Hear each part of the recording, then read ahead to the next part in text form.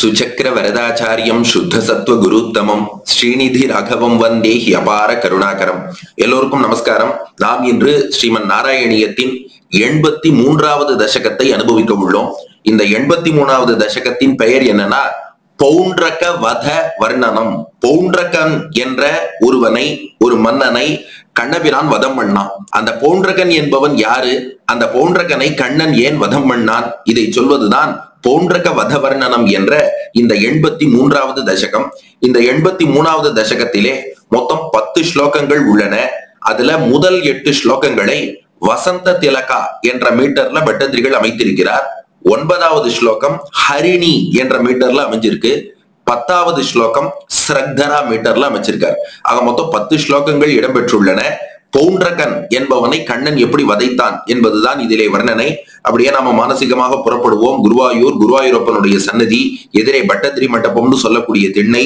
திண்ணையில வந்து பட்டத்திரிகள் அமர்ந்து விட்டார். இப்ப எண்பத்தி மூணாவது தசகம் பாடப் போகிறார் இப்ப என்ன வரலாறுனா பவுண்டரகன்கிறவன் யார்? அவனை ஏன் கண்ணன் வதம் பண்ணா? முதல் ஸ்லோகம் வாருங்கள் அனுபவிப்போம். ராமேத கோகுலகதே பிரமதா பிரசக்தே ஹூதானுபேய் உபேய ஹூதானுபேத யமுனா தமனே மதாந்தே ஸ்வைரம் சமாரமதி சேவக வாதமூடா தூதம் யயுங்க தவ பௌண்ட்ரக வாசுதேவஹா. ராமே ஒரு பக்கம் பலராமன் பலராமன் கண்ணன் இருவருமாக இப்போது துவாரகையிலே எழுந்துருளி இருக்கிறார்கள் ராமே பலராமன் என்ன பண்ணாரா? அத கோகுலகதே கோகுலம் ஆயர்பாடிக்கு புறப்பட்டு போனாராம். ஏன்னா ஆயர்பாடியில உள்ள கோபிகைகள் ஆயர்பாடி என்பது யமுனை கரையிலே இருக்கிறது. துவாரகை என்பது மேற்கு கடற்கரையில கிருஷ்ணன் நிர்மாணம் பண்ணி அங்கே எழுந்துருளி இருக்கிறார் அப்போ ஆயர்பாடியில உள்ள கோபிகைகள்லாம் இளமை காலத்துல கிருஷ்ணனையும் பலராமனையும் பார்த்தவர்கள் இப்போது அவர்கள் பிரிந்து சென்றதை எண்ணி இப்போது வாடி இருப்பார்கள் அல்லவா? அவர்கள் வாட்டத்தை தணிப்பதற்காக ராமே பலராமனானவர் கோகுல கதே கோகுலத்துக்கு எழுந்தருளினார். அங்கே பிரமதா பிரசக்தே. அங்கே பிரமதான பெண்கள்னு அர்த்தம். அங்கே உள்ள கோபிகைகள் ஆயர்கள் அத்தனை பேரும் பிரசக்தே பலராமனிடத்தில் உள்ள ஈடுபாட்டாலே ஓடி வந்து ஆஹா எப்போ இளமையில் பார்த்த பலராமன் இப்ப திரும்ப வந்திருக்காரேன்னு சொல்லி ரொம்ப ஆனந்தமாக அவரோடு வந்து உறவாடி அவருடைய அனுகிரகத்தை பெற்றுக் கொண்டிருந்தார்கள். அந்த சமயம் ஹூத்தானுபேத யமுனா தமனே மதாந்தே. பலராமன் என்ன ஆயிட்டாராம் மதாந்தே. மதம் அப்படின்னு சொன்னா ஒரு விதமான கர்வம். அதுக்காக உடனே பலராமனுக்கு மதமா? அப்படி நாம யோசிச்சிடக்கூடாது அப்படி ஒரு மயக்கத்துல இருந்தானா பலராமன்? அந்த நிலையில என்ன பண்ணிட்டாரா? ஹூத்த ஹூத்தனா அழைப்பதுன்னு அர்த்தம். யார கூப்பிட்டார்னா யமுனா நதியை கூப்பிட்டாராம். ஏ யமுனா நதியே? இந்த பக்கம் வா. நானும் இங்க ஆயர்கள் எல்லாரும் பேசிட்டு இருக்கோம். யமுனா நதியை இப்படி வான்னு கூப்பிடுறார். ஹூத்த இவர் கூப்பிட்டாலும் கூட அனுபேத்த அனுபேத்தன்னா பண்ணல வரலன்னு அர்த்தம். அப்போ ஹூத்த அனுபேத்த பலராமன் யமுனையை இப்படி வாங்க கூப்பிட்டார் யமுனை வரல. உடனே பார்த்தார். இப்ப என்ன பண்ற பாருன்னு யமுனா தமனே தமனம்னா அடக்குவதுன்னு அர்த்தம். யமுனா தமனேனா யமுனா நதியை அடக்கிட்டாராம். எப்படி அடக்கினார்னா பலராமன்னாலே கையில ஒரு கலப்பை இருக்கும் இல்லையா? அந்த கலப்பையால யமுனா நதியின் அக்கறை பக்கமா பிடிச்சு அப்படியே நதியை இழுத்தாராம். பலராமனின் கலப்பையால் அவர் இழுக்கவும் யமுனா நதி அப்படியே வளைந்து இவர் இருக்கும் இடத்தை நோக்கி ஓடி வந்துருத்தான் அதனாலதான் இன்னைக்கும் சொல்லுவா அந்த ஆயர்பாடியில ஒரு குறிப்பிட்ட இடம். அதுதான் பலராமன் கலப்பையாலே யமுனையின் டைரக்ஷனை திருப்பின இடம். அங்க மட்டும் அப்படி பா மாதிரி அந்த நதி வளைந்து இப்படி ஓட ஆரம்பிக்கும். அதனால யமுனை இப்படி இருந்த போது அதை இப்படி வளைத்து இழுத்து பிடித்து யமுனையின் கர்வத்தை அடக்கினார் பலராமன்.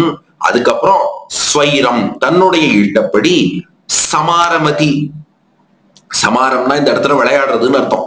சமாரமதி அவர் எப்போதும் விளையாட்டு கொண்டு சமாரமதி நன்றாக விளையாடி கொண்டிருந்தார் பலராமன். இப்படி ஒரு பக்கம் பலராமன் புறப்பட்டு போய் சமாரமதி நன்றாக விளையாடி கொண்டிருக்கிறார். எங்க போனார்? ராமேத கோகுல கதே கோகுலம் போனார் பிரமதா பிரசக்தி. ஆயர் ஆய்ச்சியரோடு கூடி ஆனந்தப்பட்டார். ஹூத்தானுபேத யமுனா தமனே மதாந்தே. அவருக்கு கோபம் வந்ததாலே யமுனா நதியையே அடக்கி திருப்பிட்டார். ஸ்வைரம் சமாரமதி. இவர் அங்கே இப்போது விளையாடி கொண்டிருக்கிறார். இது ஒரு பக்கம் நடந்து கொண்டிருக்க பௌண்ட்ரக தேசம்னு ஒரு தேசம். இப்பதான் அந்த பௌண்ட்ரக வாசுதேவனை இன்ட்ரோடியூஸ் பண்ண போறார் பட்டத்திரிகள். பௌண்ட்ரக தேசம்னு சொல்லக்கூடிய தேசம். அந்த பவுண்டரக தேசத்தை பௌண்ட்ரகன் என்பவன் ஆண்டு வருகிறான். இப்ப அவனுக்கு என்ன பிரச்சனைன்னா சேவகவாத மூடகா. சேவகர்கள்னா அவனுடைய பணியாளர்கள் வேலைக்காரர்கள். சேவக வாத அவர்கள் அப்பப்போ வாதம்னா பேசுறதுன்னு அர்த்தம்.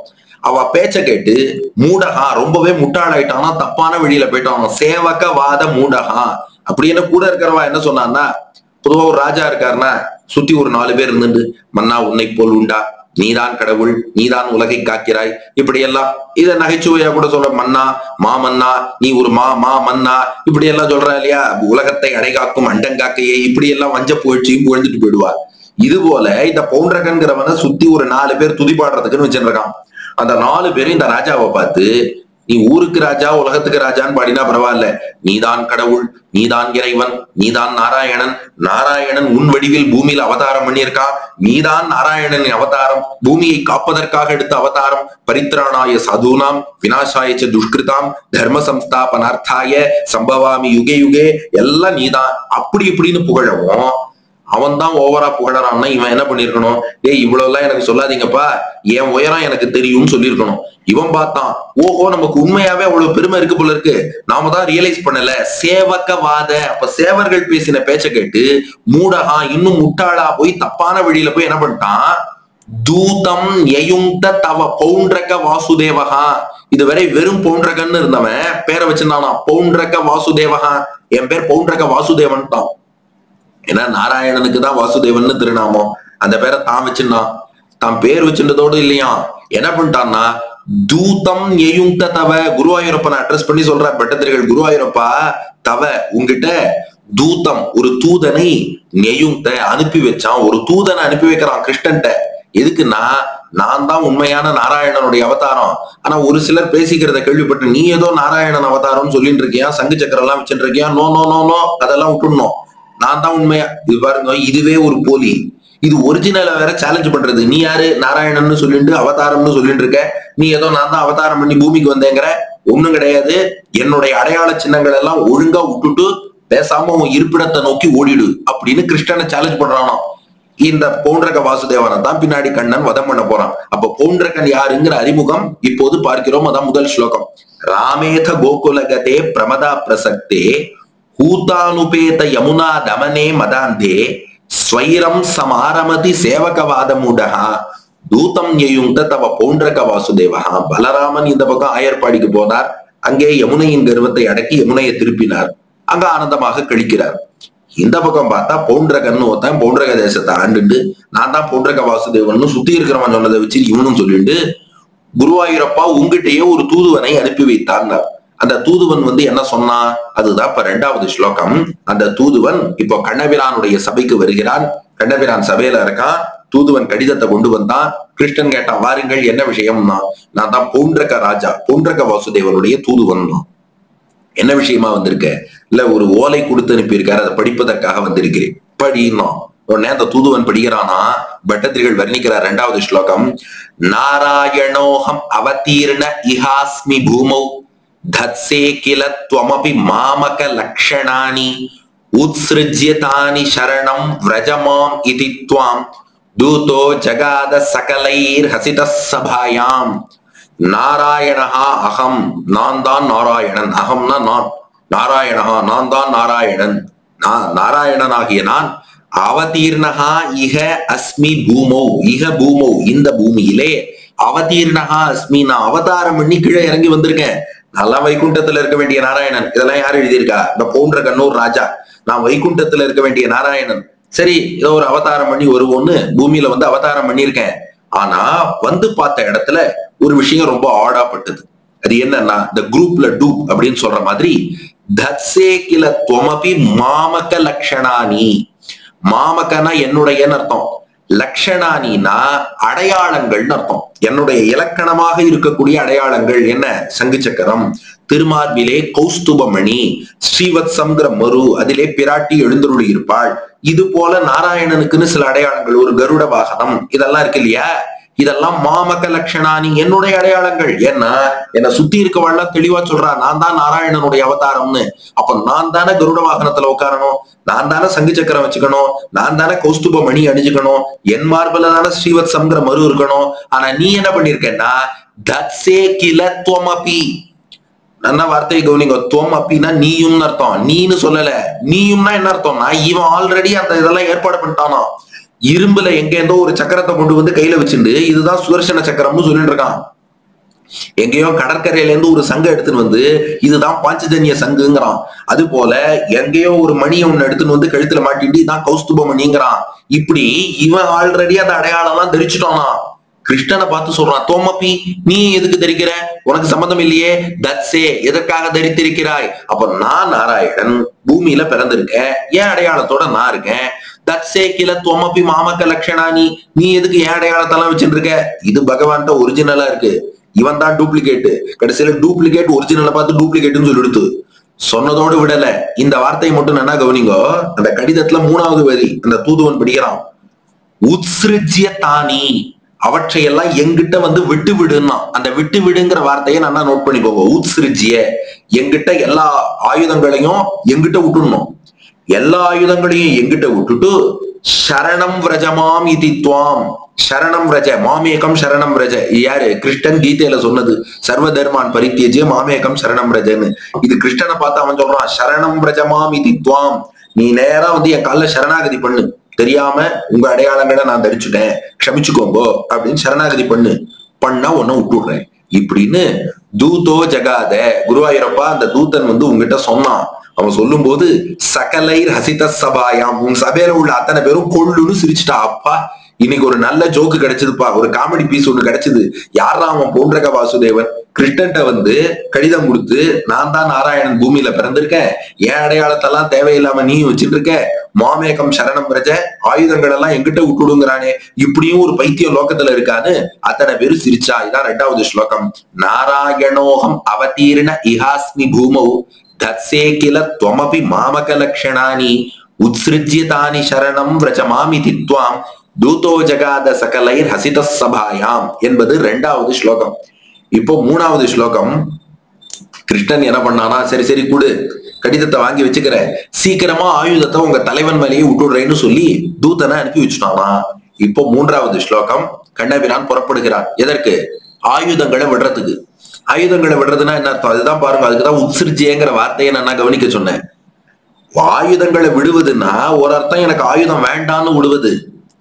ஆயுதத்தை விடுவது நான் ஏவி விடுவதுன்னு இருக்கு அர்த்தம் இருக்கு. இப்போ கிருஷ்ணன் சக்கராயுதத்தை அவன் மேல விட்டான். சக்கரம் போய் அடிச்சுட்டு வந்துருத்துங்கிறோம்.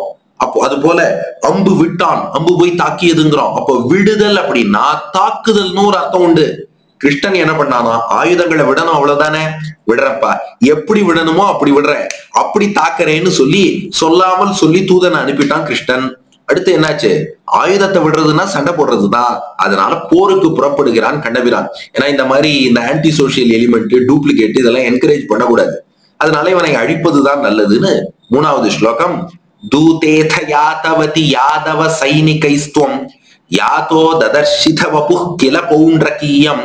தாபேன வக்ஷசி கிருதாங்கம் அனல்ப மூல்ய ஸ்ரீகௌஸ்துபம் மகர குண்டல பீதச்சேலம் தூதேத யாதவதி. தூதனை அனுப்பி வச்சாச்சு நீ போயிட்டு வாரு அதுக்கப்புறம் யாதவ சைனிகைஸ்துவம் குருவாயூரப்பா நீ பெரிய யாதவ சேனையை திரட்டி கொண்டாய். அந்த யாதவ சேனையோடு புறப்பட்ட நீ யாதஹா அந்த பௌண்டரக தேசத்துக்கே போனாய். போய் ததர்ஷித வபுகு அந்த பௌண்டரகனுடைய அந்த சரீரத்தை கண்டாய். எப்படி இருக்கு? கில பௌண்டரகீயம்.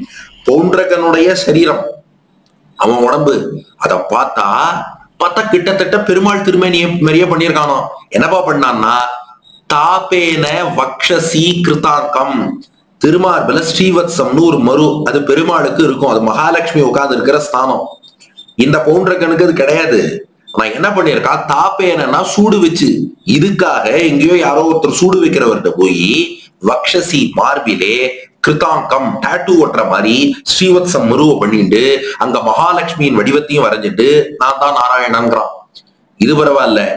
அனல்ப மூல்ய ஸ்ரீ கௌஸ்துபம். அனல்ப மூல்யன்னா ரொம்ப விலை மதிக்க முடியாத உண்மையாவே காசு கொடுத்து வாங்கி ஸ்ரீ கௌஸ்துபம். பெருமாள் திருமார்பில கௌஸ்துபமணி நீலநாயக்க கல்லுன்னு அணிஞ்சுட்டு இருப்பார். நீங்க ஸ்ரீரங்கத்துல நம்பெருமாள் உற்சவரை செவிச்சேன்னா நீல நிறத்திலே ஐந்து விதமான ரத்னங்கள் புதிக்கப்பட்டதாக நீல ரத்னங்கள் இருக்கும்படியா கௌஸ்துபமணி நீலநாயக்க கல்லுன்னு திருமார்பில் அணிஞ்சுட்டு இருப்பார்.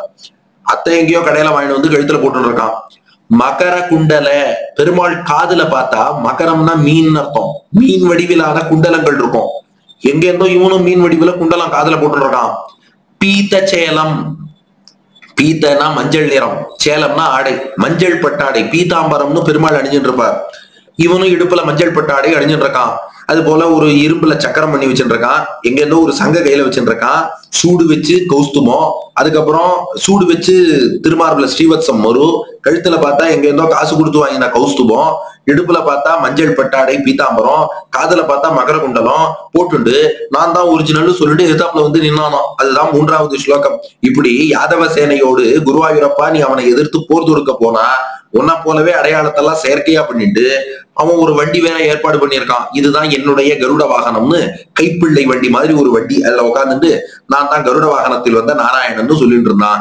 தூதேத யாதவதி யாதவ சைனிகைஸ்துவம் யாதோ ததர்ஷித வபுக்கில பௌண்ட்ரகீயம் தாபேன வக்ஷசி கிருதாங்கம் அனல்ப மூல்ய ஸ்ரீகௌஸ்துபம் மகரகுண்டல பீத்தச்சேலம் என்பது மூன்றாவது ஸ்லோகம். அடுத்து நாலாவது ஸ்லோகம். குருவாயூரப்பா நீ பார்த்த இதை இதுக்கு மேல என்கரேஜ் பண்றது நல்லது இல்ல விளையாட்டுங்கிறது ஒரு அளவு வரைக்கும் தான் இருக்கணும். இப்ப விளையாட்டு வினையா எடுத்து அவன் அழிக்கலான்னு முடிவு பண்ணான் எப்படி அழித்தாய்? அதுதான் நான்காவது ஸ்லோகம். காலாயசம் நிஜ சுதர்ஷனம் மஸ்யதோஸ்ய. காலானலோத்கர கிரேண சுதர்ஷனேன. சீர்ஷம் ஜகர்த்தித மமர்தித அஸ்ய சேனாம் தன்மித்ர காஷிப சிரோபி சகர்த்த காஷ்யாம். காலாயசம் காலன்னா கருப்பு. ஆயசம்னா இரும்புன்னு அர்த்தம்.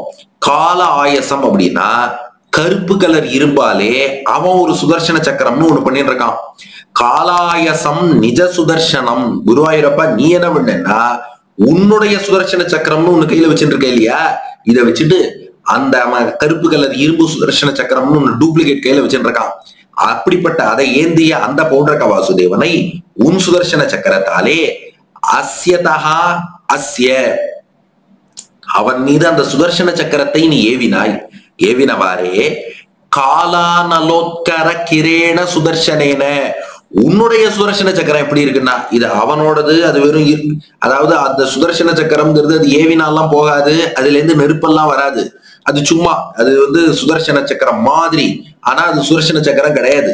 ஆனா இங்க பகவானுடையது எப்படின்னா காலானல அனலம் அப்படின்னா நெருப்புன்னு அர்த்தம். கால அனலம் அப்படின்னா பிரளய காலத்து நெருப்புன்னு அர்த்தம். ஊழிக்காலம் பிரளயத்துல உலகமெல்லாம் அழியும் போது ஒரு நெருப்பு வருமே. அது போன்ற நெருப்பு. காலானல உட்கரக்கிறேன அந்த காலானலம்னு சொல்லக்கூடிய காலாக்னி பிரளயகால நெருப்புல இருந்து பொறிகள் எப்படி புறப்பட்டு வருமோ அது போல பொறிகளை வெளி வெளியிடக்கூடிய சுதர்சனேன உன்னுடைய சுதர்சனம்ங்கிற சக்கரம். குருவாயூரப்பா அதை நீ ஏவினாய். அது என்ன பண்ணிட்டுன்னா சீர்ஷம் இந்த பௌண்டரக வாசுதேவன் இருக்கானே அவனுடைய தலையை சீர்ஷம் தலையை சகர்த்தித வெட்டி அவன் தலையை வெட்டி அந்த பவுண்டரக்கனை வீழ்த்தி கீழே தள்ளியது. அத்தோட அவன் மாண்டு போனான். அத்தோட விடல இவனுக்கு ஒரு சேனை இருக்கே. இவனுக்கு துதி பாடிண்டு நாங்கள்லாம் நாராயண சேனைன்னு சொல்லிட்டு வந்தது பவுண்டரகனுடைய சேனை. அதையும் மமதித ச அஸ்ய சேனாம் அஸ்ய சேனாம் அவனுடைய சேனையை எல்லாம் மமர்தித மொத்தமாக அழித்து நொறுக்கி வீழ்த்தி விட்டாய் குருவாயூரப்பா. அத்தோட நிறுத்தல இந்த பவுண்டரகனுக்கு காசி ராஜா நண்பன் காசி தேசத்து அரசன் அவனை விட்டு வச்சா அவன் அடுத்து கிளம்புவான். அதனால இந்த தீயவர்களோடு சேருபவர்களையும் விடக்கூடாதுன்னு தன் மித்ர அவனுக்கு நண்பனான காஷிப காஷி அரசன் இருக்கானே அவனுடைய ஷிரோபி தலையையும் சகர்த்த காஷியாம் சகர்த்தன வெட்டி அது காசி தேசத்திலேயே போய் விழும்படியாக பண்ணிவிட்டாய் என்பதுதான் நாலாவது ஸ்லோகம் அதனால கருப்பு கலர் இரும்பால சக்கரத்தை வச்சுன்னு வந்தான். யாரு? இந்த பௌண்டரக வாசுதேவன். குருவாயூரப்பா காலாகினி போல் தீப்பொறியை உமிழக்கூடிய உன்னுடைய சுதர்சன சக்கரத்தை நீ ஏவினாய். அது பௌண்டரக வாசுதேவன் தலையையும் அறுத்தது அவன் சேனையையும் அழித்தது அவன் கூட வந்த காசிராஜன் தலையை அறுத்து நேரா கொண்டு போய் காசியிலேயே அந்த வெறுந்தலையை கொண்டு போய் வீழ்த்தி விட்டது காலாயசம் நிஜ சுதர்சன மஸ்ய தோஸ்ய காலானலோத்கர கிரேண சுதர்சனேன சீர்ஷம் சகர்த்தித மமர்த்தித சாஸ்ய சேனாம் தன்மித்ர காஷிப சிரோபி சகர்த்த காஷ்யாம் என்பது நாலாவது ஸ்லோகம். இப்போ அஞ்சாவது ஸ்லோகம். இதுல பட்டத்திரிகள் ஒரு விஷயம் சொல்லியிருக்கார். ஆனா இதை நம்ம ரொம்ப கேர்ஃபுல்லா புரிஞ்சுக்கணும். இது வந்து அப்படியே ஒரு கயத்து மேல நடக்கிற மாதிரி கொஞ்சம் இப்படி எப்படி நகர்ந்து மாத்தி புரிஞ்சுனாலும் நாம குழம்பி போயிடுவோம். அதனால இந்த அஞ்சாவது ஸ்லோகம் ரொம்ப முக்கியமான ஸ்லோகம். இந்த சரித்திரம் உணர்த்தக்கூடிய தத்துவம் என்னன்னா ஜால்யேன பாலக கிராபி கிலாகமேவ ஸ்ரீவாசுதேவ இது ரூಢமதிஷ்சிரம் சகா சாயுஜ்யமேவ பவதைக்கிய தியாகதோ பூத்து கோ நாம கஸ்ய சுகிருதம் கதமித்யவேயாத்து ஜால்யேன ஜால்யேனா முட்டாள்தனத்தாலேன்னு அர்த்தம். இந்த பௌண்டரக வாசுதேவன் நான் தான் நாராயணன்னு சொன்னானே. இதை விட பெரிய முட்டாள்தனம் உலகத்துல உண்டா? ஜால்யேன முட்டாள்தனமா தான் அவன் யோசிச்சான். பாலக கிராபி அடுத்து ஏதாவது சொந்தமாவது அதை யோசிச்சானா அது இல்ல.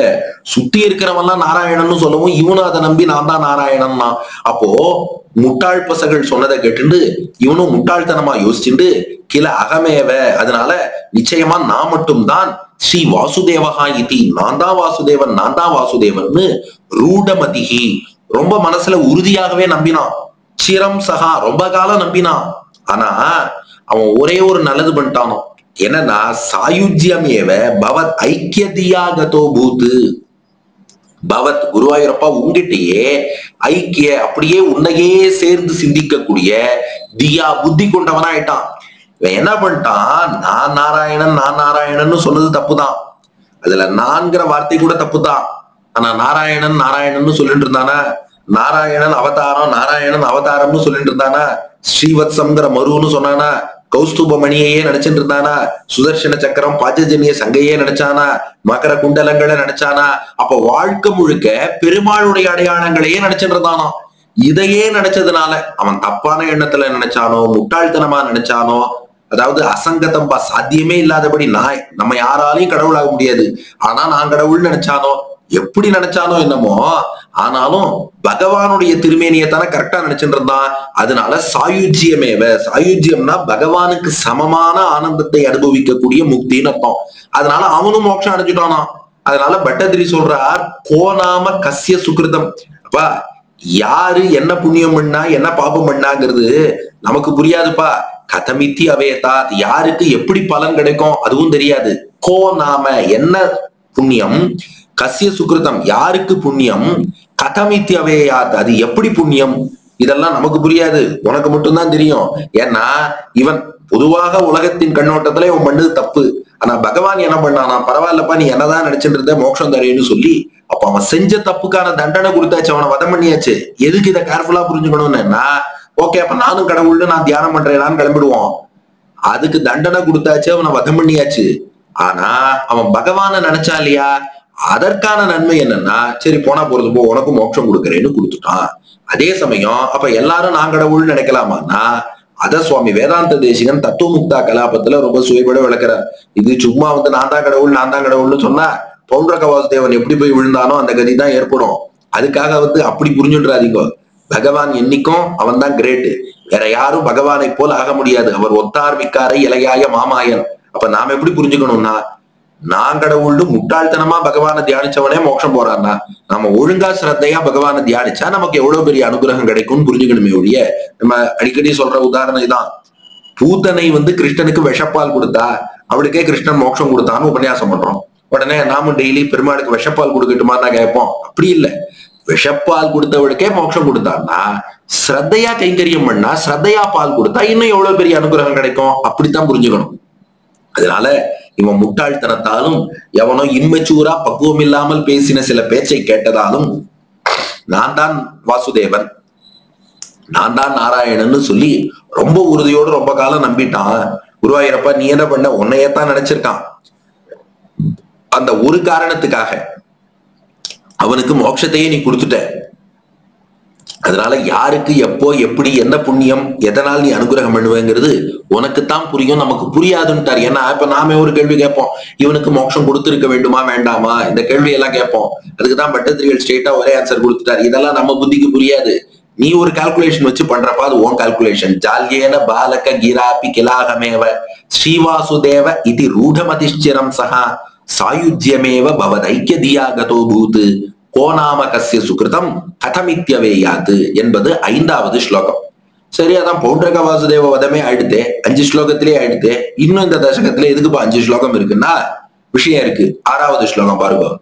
காசீஸ்வரஸ்ய தனயோத்த சுதக்ஷிணக்கியா சர்வம் பிரபூஜ்ய பவதே விஹிதாபிச்சாரः கிருத்யானலம் கமபி பாண ரணாதி பீதைஹி பூதை கதஞ்சன விருதைஹி சமமபியமுஞ்சது இந்த காசி ராஜாவோட தலையை கண்ணபிரான் அறுத்தான். அவன் தலை போய் காசியில விழுந்ததுன்னு பார்த்தோம் இல்லையா? அந்த காசி ராஜனுக்கு ஒரு மகன் இருக்கான். அவனுக்கு சுதட்சிணன்னு வேறு. அவன் என்ன பண்ணா? ஓ எங்க அப்பாவை கிருஷ்ணன் கொண்டுட்டானா அவ அப்பா தப்பு பண்ணா கிருஷ்ணன் வதம் பண்ணா. ஆனா எப்போதுமே இந்த பகைமைங்கிறது அப்படிதான். யாரோ ஒருத்தர் ஒரு தப்பு பண்ணிடுவார். அவரை இன்னொருத்தன் தட்டிச்சிருப்பான் அவர் பையன் என்ன பண்ணுவான்? இந்த தண்டிச்சவனை நான் பழிவாங்க போறேன்னு கிளம்புவான். அந்த மாதிரி இவர் இந்த காசிராஜனோட பையன் என்ன பண்ணா எங்க அப்பாவை கிருஷ்ணன் கொண்டுட்டான் கிருஷ்ணனை பழி வாங்குவேன். கிருஷ்ணனை மட்டும் இல்ல கிருஷ்ணன் ஆளக்கூடிய துவாரகையே நான் பழி வாங்க போகிறேன்னு கிளம்பினானா. அதான் ஆறாவது ஸ்லோகம். காஷீஸ்வரஸ்ய அந்த காசிராஜனுடைய தனயஹாத. அவருக்கு ஒரு மகன் இருந்தான். அவன் பேரு சுதக்ஷிணாக்கியா சுதக்ஷிணன்னு பேரு. அவன் என்ன பண்ணா? சர்வம் பிரபூஜ்ய ருத்ரனை குறித்து ஒரு பெரிய யாகம் பண்ணான். யாகம் பண்ணி பவத்தே குருவாயூரப்பா உன்னையே அழிப்பதற்காக விகித அபிச்சாரகா அபிச்சாரம் அதாவது இந்த வைப்பு எடுப்பு பிளாக் மேஜிக் இதெல்லாம் சொல்லுவா இல்லையா? அதுக்குதான் அபிச்சாரம்னு பேரு. அந்த மாதிரி ஒரு பிளாக் மேஜிக் ஒண்ணு பண்ணி ஒரு யாகத்தை பண்ணி அதிலிருந்து கிருத்தியானலம் கமபி. ஒரு கிருத்தியை கிருத்தியைனா நெருப்பை உமிழக்கூடிய ஒரு பூதம்னு அர்த்தம். ஒரு கிருத்தியைங்கிற தீ உமிழும் ஒரு பூதத்தை உருவாக்கினான். அந்த பூதத்துக்கு துணையா என்ன பண்ணா வேறு சில பூதங்கள் எல்லாம் அழிச்சுன்னு வந்தான். அவள்லாம் யாருன்னா பாண ரத அதி பாண ரண அதிபீதைஹி பூதைஹி. பாண ரண பாணாசுர யுத்தம்னு முன்னாடி பார்த்தோம் இல்லையா?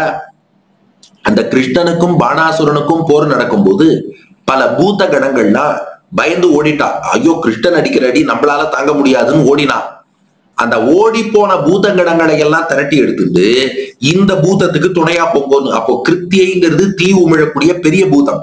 அந்த பெரிய பூதத்துக்கு உதவி பூதங்களாக இந்த பாணாசுரன் யுத்தத்துல கிருஷ்ணனோட அடி தாங்காம புறமுதுகிட்டு ஓடின போ- அந்த பூதங்களை திரும்ப கொண்டு வந்துட்டான். கொண்டு வந்து கதஞ்சன விருதைகி இந்த உதவி பூதங்கள் எல்லாம் புடைசூழ பெரிய பூதம் நடுவே செல்ல சமம் அபியமுஞ்சத்து அத்தனை பேரையும் குருவாயூரப்பா அபியமுஞ்சத்துனா ஏவி விட்டான்னு அர்த்தம். போ நீங்க அத்தனை பேரும் போய் கிருஷ்ணன் ஆளக்கூடிய துவாரகையை எரிச்சிட்டு வாங்கன்னு அனுப்புறானோ. காஷீஸ்வரஸ்ய தனயோத்த சுதக்ஷிணாக்கியா சர்வம் பிரபூஜ்ய பவதே விகிதாபிச்சாரா கிருத்தியானலம் கமபி பாணரணாதி பீதைஹி பூத்தை கதஞ்சன விருதைஹி சமம் அபிமுஞ்சது அதனால காசிராஜன் பிள்ளை சுதட்சிணன் ஒரு யாகத்தை பண்ணி அதிலிருந்து ஒரு வைப்பு எடுப்பு ஒரு பூதத்தை உருவாக்கி அந்த அனலம் நெருப்பு உமிழக்கூடிய அந்த பூதத்துக்கு துணையா பாணாசுர யுத்தத்துல புறமுதுகிட்டு ஓடிய பூதங்களை உதவி பூதங்களாக சூழ்ந்திருக்க வைத்து எல்லாரையும் ஏவி விட்டான். துவாரகையை நோக்கி இந்த பூதங்கள் எல்லாம் தீயை உமிழ்ந்து கொண்டு தாக்க வருகின்றன. இப்போ ஏழாவது ஸ்லோகம் துவாரகை இப்போ கிருஷ்ணன் என்ன பண்ணிட்டு இருக்கானா ருக்மிணி பிராட்டியோடு தாயக்கட்ட விளையாடின்னு இருக்கானா துவாரகையில. கிருஷ்ணன் இங்கே விளையாடி கொண்டிருக்க துவாரகையை எரிப்பதற்காக பூதம் புறப்பட்டு வருகிறது. ஏழாவது ஸ்லோகம் தால பிரமாண சரணாம் அகிலம் தகந்தீம் கிருத்தியாம் விலோக்கிய சகிதை கதிதோப்பி பௌரைஹி தியூதோத்சவே கிமபி நோ சலிதோ விபோத்வம். பார்ஸ்வஸ்தமாஷு விசசர்ச்சித கால சக்கரம் தாள பிரமாண சரணாம் அந்த பூதம் எப்படி இருக்குன்னா தாளனா பனமரம்னு அர்த்தம். பிரமாணம்னா அவ்வளவு பெருசு அளவுன்னு அர்த்தம். சரணம்னா கால்னு அர்த்தம். தாள பிரமாண சரணாம் பனமர அளவுக்கு உயரமான கால்களாம். அப்படின்னா அந்த பூதம் எவ்வளவு பெருசு இருக்கும்னு நினைச்சு பாருங்க.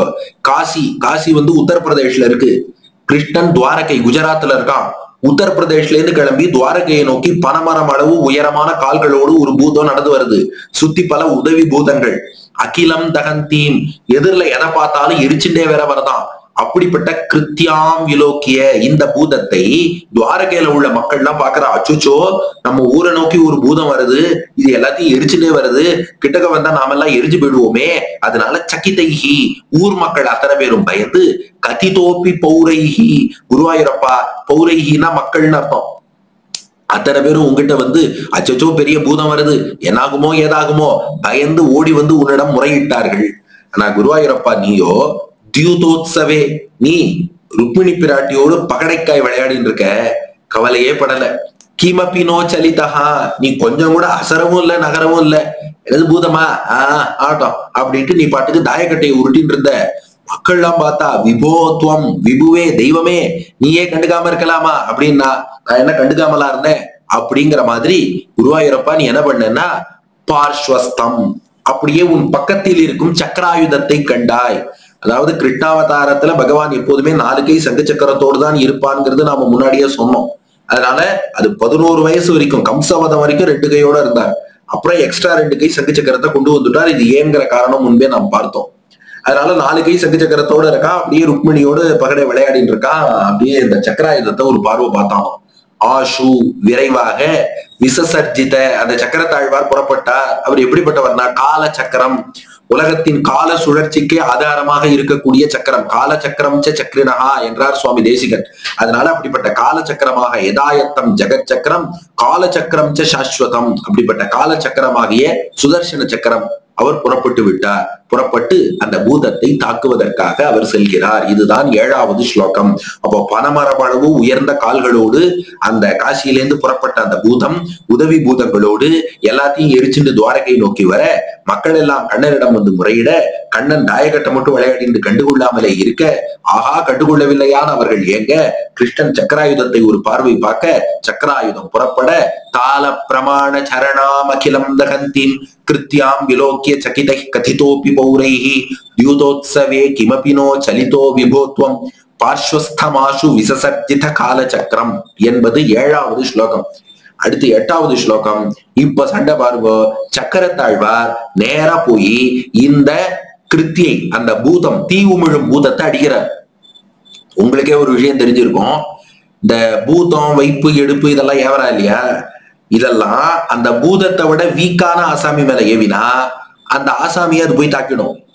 பூதத்தை விட ஸ்ட்ராங்கான ஆள் மேல ஏவினா அது கடுப்பாய் ஏவினவனையே வந்து அடிச்சிடும் இந்த கவுண்டமணி செந்தில் காமெடியில கூட நீங்க பார்த்திருப்பீள் இப்போ சக்கரத்தாழ்வார் எதிர்த்தாப்புல வரவும் பூதம் என்ன பண்ணும்? சக்கரத்தாழ்வாரா அதால அடிக்க முடியாது. என்ன பண்ணிருந்தான் ஏவின சுதக்ஷன் இருக்கானே காசிராஜன் பையன் அவனையே வந்து ஓங்கி அடிச்சுட்டான் அதுதான் அப்யா பதத்தி அமித தாம்னி பவன் மகாஸ்திரே ஹாஹேதி வித்ருதவதி கது கோர கிருத்யா. ரோஷாத் சுதக்ஷிணம் அதக்ஷிண சேட்டி தம் புப்ளோஷ சக்கரம் அபி காசி புரீம் அதாக்ஷித்து இப்ப என்ன ஆயிடுது? அபியாபததி. இப்ப சக்கரத்தாழ்வார் வேகமா வந்து மோதலார் அப்படியே தாக்க போறேன்னு. அத பார்த்ததும் அமித தாம்னி சக்கரத்தாழ்வார் எப்படி இருக்காராம்? எல்லை இல்லாத ஒளியோடு இருக்கிறார். ஒளி வீசுன்னு உனக்குதான் நெருப்பு உமிழ தெரியுமா? நான் காலாக்னின்னு சொல்லி பிரளய கால நெருப்பையே உமிழ்கிறேன்னு சக்கரத்தாழ்வார் உமிழ்ந்தார். பவன் மகாஸ்தே குருவாயூரப்பா உன்னுடைய அந்த ஆயுதங்களுக்கெல்லாம் தலைவன் பெரிய அஸ்திரம் சக்கரத்தாழ்வார். அவரே வரவும் ஹா ஹா இதி வித்ருதவதி. இப்போ அந்த கிருத்தியை பூதம் இருக்கே ஹா ஹா இதி வித்ருதவதி. அச்சோ அச்சோ ஹா ஹா ஹான்னு அழுதுண்டு என்னால தாங்க முடியலன்னு சொல்லி கதறி கொண்டு கலு கோர கிருத்தியா அந்த கோரமான பூதமே பயந்து ஓடிட்டான் ஓடி என்ன பண்ணிடுத்தோம்னா ரோஷாத்து கோபம் உண்டு. ஏண்டா? என்னை விட பலமான சுதர்சன சக்கரம் இருக்கிற இடத்துக்கு என்ன ஏவி விடுவேன் வீக்கான ஆசாமிட்ட ஏவுவேன்னு பார்த்தா இப்படிப்பட்ட அஸ்திரம் சுதர்சனத்துக்கிட்ட போய் என்ன ஏவி விட்டுட்டியேன்னு? சுதக்ஷிணம் அதக்ஷிண சேஷ்டிதம் தம். அந்த சுதக்ஷிணனை என்ன பண்ணிதுன்னா அதக்ஷிண சேட்டிதம் தட்சிணனா பணிவோடு வேலை செய்யறதுன்னு அர்த்தம். அதட்சிண சேட்டிதம்னா பணிவில்லாமல் கிருஷ்ணனையும் அவன் ஊரையும் அழிக்கணும்னு நினைச்சானே சுதட்சிணன். அவனை போய் புப்ளோஷ மொத்தமா போய் எரிச்சுடுத்தான். ஏண்டா நீ வந்து அங்கேயா என்ன ஏவி விட்ட? என் உயிருக்கே ஆபத்தையா ஏற்படுத்த பார்த்தாய்? அப்படின்னு இவன் ஏவி விட்ட அந்த பூத்தம் சுதட்சிணனையே வந்து எரித்து விட்டது. ஆனா சக்கரத்தாழ்வார் இருக்காரே அவர் சும்மா விடலையாம். என்ன பண்ணாராம்?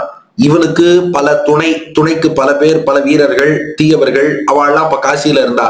இதை விட்டு வச்சா மறுபடியும் அடுத்த எதிரி வருவான். ஏன்னா காசிராஜனை கிருஷ்ணன் அழிச்சான் அவன் தம்பி புறப்பட்டு வந்தான். அவன் பையன் புறப்பட்டு வந்தான். இப்ப பையன் அழிச்சா அப்புறம் அவனுக்கு ஒரு தம்பின்னு ஒருத்தன் வருவான். வேண்டாம். நம்ம மொத்த காசியை எரிச்சிருவோம்னு சக்கரம் அப்பி சக்கரத்தாழ்வார் என்ன பண்ணாராம் காசிபுரியும் அதாட்சித்து மொத்த காசியையுமே எரிச்சு சாம்பலாக்கிட்டு திரும்ப வந்துட்டார். இதுதான் எட்டாவது ஸ்லோகம். அதனால சக்கரத்தாழ்வார் ஒளியை வீசி தீயை உமிழு உமிழ்ந்து கொண்டு வரவும் அந்த பூதம் பயந்தே ஓடி போய் கோபம் கொண்டு சுதக்ஷணனையே அடிச்சு கொண்டு கொடுத்து சக்கரத்தாழ்வார் அத்தோடு விடாம அவர் காசியையே மொத்தமா எரிச்சுட்டு கிருஷ்ணன் கைக்கு வந்துட்டார்.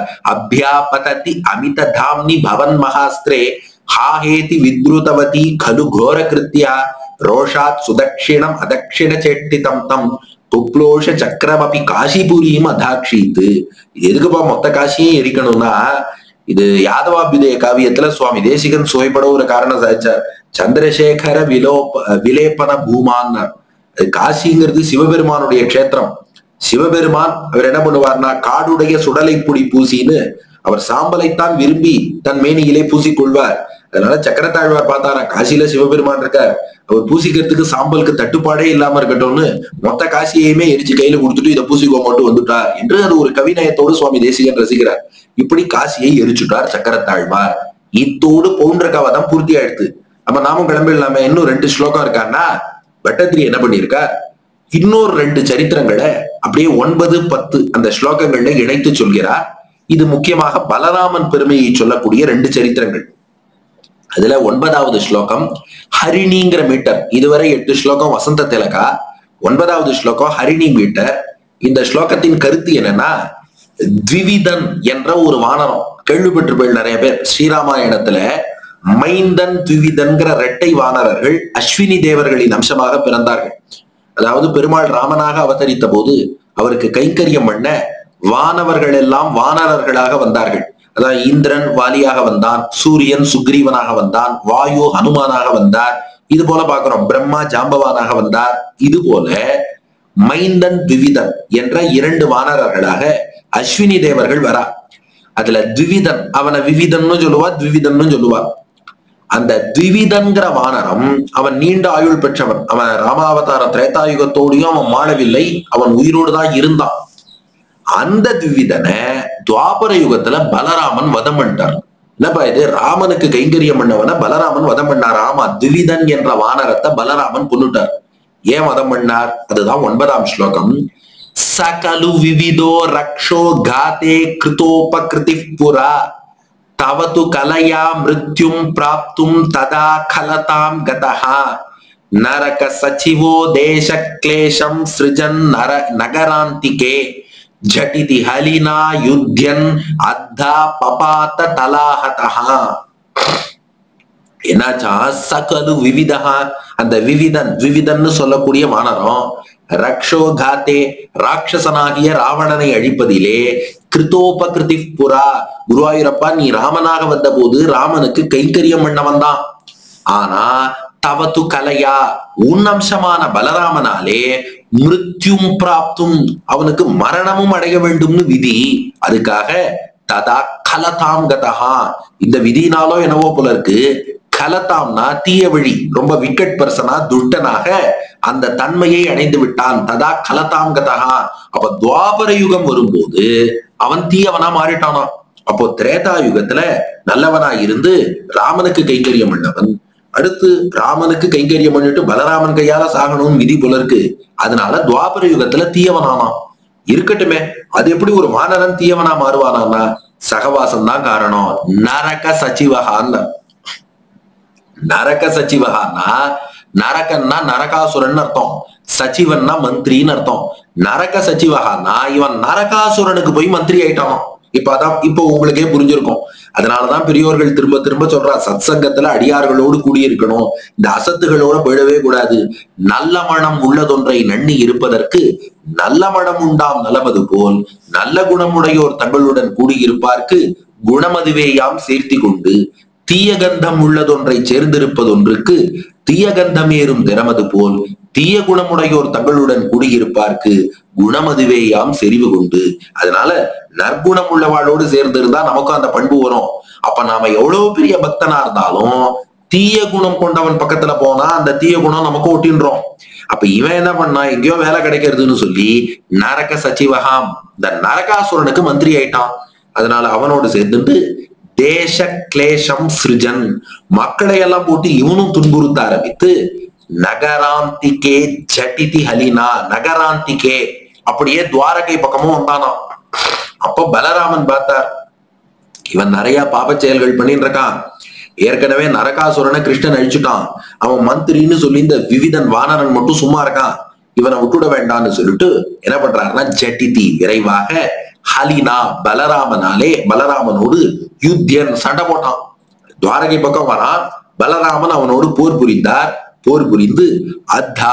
அத்தான்னா இந்த இடத்துல ரொம்ப எளிமையாகன்னு அர்த்தம். அத்தா வித் ஈஸ். ரொம்ப எளிமையாக பபாத. அவனை அடித்து கீழே தள்ளினார். எப்படி? தல ஆகத்தகா தலனா உள்ளங்கையாலே. ஆகத்தகான ஓங்கி அடித்து பப்பாத்த கீழே விழுந்து அவன் மாண்டு போனான். ஆகையினால இப்படி பலராமன் ஓங்கி தன்னுடைய பாம் உள்ளங்கையால ஓங்கி ஒரு அடி அடிச்சு இவனை மதம் பண்ணி அழித்தொழித்தார் அப்போ இதுல இருந்து உடனே வானரன் வந்து இப்படி ஆழ மாட்டானா? பலராமன் கொல்லலாமா? இந்த கேள்வி கேட்கறத விட நாம இதுவரை எவ்வளவு பெரிய பக்தனா இருந்தாலும் இனியும் சத்சங்கத்துல அடியார்களோடு கூடி இருக்கணும் அப்படி இல்லைன்னா யாருக்கு வேணா மனம் மாறுங்கிற அளவுல நமக்கு மெசேஜா இதை புரிஞ்சுக்கணும். அதான் சகலு விவிதோ ரக்ஷோ காத்தே கிருதோபகிருதி புரா தவது கலையா மிருத்யும் பிராப்தும் ததா கலதாம் கதா நரக சச்சிவோ தேசக்லேஷம் சிருஜன் நகராந்திகே ஜட்டிதி ஹலினாயுத்யன் அத்தா பபாத தலாகதா அதனால விவிதங்கிறவன் ராமாவதாரத்துல கைங்கரியம் பண்ணவன். ஆனா இப்போ நரகாசுரனோடு சேர்ந்து தீயவனாக ஆனான் ஜனங்களை துன்புறுத்தினான் அதனால பலராமன் துவாரகை கருகே அவனோடு சண்டை போட்டு அவனை உள்ளங்கையால் அடித்து வதம் விட்டார். இப்போ இந்த தசகத்தினுடைய நிறைவு ஸ்லோகம் பத்தாவது ஸ்லோகம். இது ஸ்ரக்தரா மீட்டர்ல அமைஞ்சிருக்கு. இது என்னன்னா சாம்பனுக்கும் லக்ஷ்மணாவுக்கும் நடந்த கல்யாண வைபவம். சாம்பன் யாருன்னா கிருஷ்ணனுக்கும் ஜாம்பவதிக்கும் பிறந்த மகன் சாம்பன். அவன் கிருஷ்ணனோட மகன். லக்ஷ்மணாங்கிறவ யாருன்னா துரியோதனனுடைய மகள். இப்போ துவாரகையில் வாழும் கிருஷ்ணன் மகன் சாம்பனும் ஹஸ்தினாபுரம் துரியோதனனுடைய தலைநகரம். ஹஸ்தினாபுரத்தில் வாழும் துரியோதனனுடைய மகளாகிய லக்ஷ்மணாவும் ஒருவரை ஒருவர் காதலித்தார்கள். அதனால சாம்பன் அவளை மணக்கணும்னு விரும்புகிறான். ஆனால் அவன் என்ன பண்ணிட்டான்? துரியோதனை இதை தெரிஞ்சுட்டு சாம்பன் லக்ஷ்மணாவை அழைத்து செல்ல வந்தான். அந்த ராட்சச விவாகம் அது மன்னர்களுக்கு அது விதிக்கப்பட்டிருக்கிறது. மன்னன் அப்படி போய் ஒரு பெண்ணை அபகரித்து வந்து கல்யாணம் பண்ணிக்கலாம். அதுக்காக சாம்பன் போனான். துரியோதனை என்ன பண்ணிட்டான்? சாம்பனை அஸ்திராபுரத்துல செரவிச்சுட்டான் அப்புறம் பலராமன் போய் எல்லாம் பேசி முடிச்சு அதுக்கப்புறம் அந்த திருக்கல்யாணம் என்பது இனிதே நடைபெறும்படி பண்ணுகிறார். அதுதான் இந்த பத்தாவது ஸ்லோகம். சாம்பம் கௌரவ்ய புத்ரி ஹரண நியமிதம் சாந்த்வனார்த்தி குரு நாம் யாத்தஸ் தத்வாக்கிய ரோஷோ திருத கரி நகரஹ மோச்சயாமாச ராமஹ தே காத்யாஃப் பாண்டவேயைஹி இது எது பிருத்தனாம் நாமுஜஸ்துவம் ததானீம் தம் துவாம் துர்போதலீலாம் பவன புரபதே தாப்பசாந்தியை நிஷேவே சாம்பம் கிருஷ்ணா உன்னுடைய மகன் குருவாயூரப்பா உன் பிள்ளை சாம்பன் இருக்கானே? கௌரவிய புத்திரி கௌரவர்களின் தலைவன் துரியோதனக்கானே அவனுடைய மகள் லக்ஷ்மணாவை ஹரண அவளை அபகரித்து வர வேண்டும்னு ஆசைப்பட்டு போய் அபகரிக்க போனான். ஆனா துரியோதனை பார்த்துட்டு நியமித்தம் அவனை சிறபிடிச்சு கட்டி வச்சுட்டான்.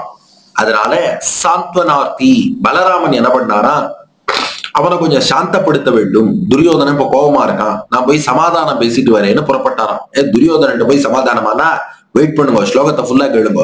சாந்த்வனார்த்தி கோபம் கொண்டு சாம்பனை சிறை வைத்த துரியோதனனை சாந்தப்படுத்துவதற்காக புறப்படுறார் பலராமன். எங்க? குரு நாம் யாத்தகா ஹஸ்தினாபுரத்துக்கு சென்றார். தத்வாக்கிய ரோஷோ திருத கரி நகரஹா. தத்வாக்கிய ரோஷ. அப்போ பார்த்தா துரியோதன எக்கச்சக்கமா பேசினானோ? ஆ அது எப்படி? என்னுடைய மகள் அபகரித்து செல்வானா? அது இதுன்னு பேசினான் பலராமன் பார்த்தா இவர் துரியோதனா? நான் உன்கிட்ட அமைதியா பேசுறதுக்காக வந்தேன். அமைதி பேச்சுவார்த்தைன்னு நீ ரொம்ப பேசுறேன்னு உதிர்த்த கரி நகரஹா ஹஸ்தினாபுரத்தையே கையால தூக்கிட்டார் பலராமன். அவர்தான் பலராமன் ஆச்சே ஹஸ்தினாபுரத்தையே தூக்கிட்டார். எல்லாருக்கும் ஆட்டம் கட்டு போச்சு. உடனே எல்லாம் பயந்தாலும் வேண்டாம் வேண்டாம் அப்படின்னு சொல்லி நாங்க சாம்பனை ரிலீஸ் பண்ணிடுறோம்னா இப்படி மோச்சையா மாச ராமஹா இப்படி சாம்பனை அவர்கள் விடுவிக்கும்படியாக பண்ணினார் பலராமன். அதுக்கப்புறம் சாம்பனுக்கும் லக்ஷ்மணாவுக்கும் கல்யாணம் நடந்துருத்து இப்போ ஒரு பெரிய கேள்வி கேட்கிறார் மட்டத்திரிகள் குருவாயூரப்பனை பார்த்து. குருவாயூரப்பா அப்பவே பலராமனை வச்சோ அல்லது உன்னுடைய யாதவ சேனையை வச்சோ அந்த கௌரவர்களையும் அழிச்சிருக்க வேண்டியதானே இது ரொம்ப தீய சக்திகளா இருக்காளே கௌரவர்கள். ஏன்னா இந்த தசகத்தை கொஞ்சம் நன்னா கவனிச்சவாளுக்கு இந்த மேட்டர் புரியும்.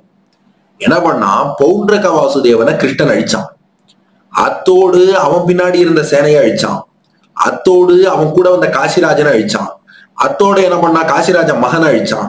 அப்புறம் அவன் சில பூதங்களை ஏவினான். அந்த பூதங்கள் யாருன்னா பாணாசுர யுத்தத்துல தப்பிச்சு ஓடின பூதம் திரும்ப வந்ததுன்னோம். ஏன் இதெல்லாம் பார்த்தோம்னு கொஞ்சம் கவனிச்சேடா ஒரு விஷயம் புரியும். கிருஷ்ணன் பூமி பாரத்தை போக்குவதற்காக அவதரித்தவன். அதனால பூமிக்கு பாரமா யாரெல்லாம் இருக்காளோ ஏதோ ஒரு வழியில் அவ தன்னை நோக்கி வரும்படியாக கிருஷ்ணன் பண்றான். இந்த போன்றகன்கிறவன் பூமிக்கு தேவையில்லாத பாரம். அதனால அவன் கிருஷ்ணன் வேஷம் போட்டுட்டே கிருஷ்ணன்ட்ட வந்து அழிந்து போகும்படி பண்ணான். காசி ராஜாவும் தேவையில்லாத பூமிக்கு பாரம். அங்கேருந்து ஃப்ரெண்ட்ஷிப் வச்சுட்டு அழிஞ்சு போகும்படி பண்ணான் பவுண்டர கணக்கு கூட இருந்தவா பூமிக்கு பாரம். அழியும்படி பண்ணான் காசி தேசத்து ராஜாவோட மகன் பூமிக்கு பாரம். அவன் அழியும்படியாக பண்ணான் பாணாசுர யுத்தத்துல பூமிக்கு பாரமான பல பூதங்களை அழிச்சான். சில பூதம் தப்பிச்சு போயிடுத்து. அது காசி இளவரசனுக்கு உதவியாக தன்னை நோக்கி வரும்படியாக பண்ணி சக்கரத்தாழ்வார வச்சு அதிகம் அழிச்சான்.